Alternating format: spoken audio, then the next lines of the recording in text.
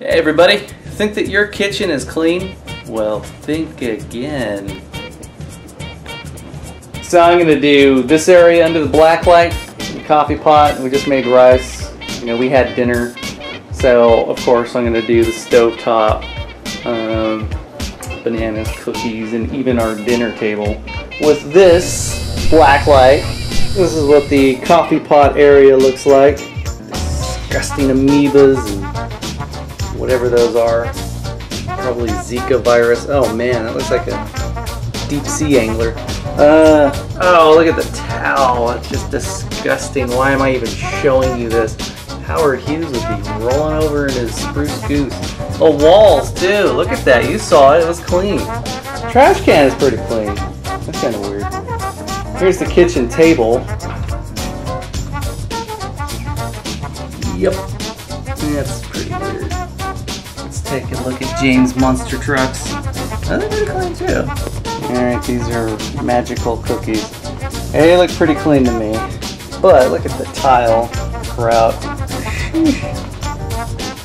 Some of this stuff was probably here before we even moved in. Alright. Look at that. Amoeba's growing already. And the food. Oh, look at that. Not too many people know that uh, bananas are radioactive because of their potassium, but um, that's another story.